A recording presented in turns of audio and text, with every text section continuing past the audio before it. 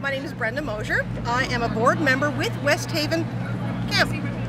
How do you feel about being a part of this project? This project is a wonderful project. Uh, I am very honored and privileged to be with them. Uh, this camp helps represent the children of our area. Uh, it's an outreach for them, and we are extremely proud to be part of it. Why do you think color has such an effect on people? Color brightens your life. Uh, it makes people happy, and the colors that we have around us today is going to be here for years to come, and we know that this will en enlighten all of our time and help with all our children as they come through.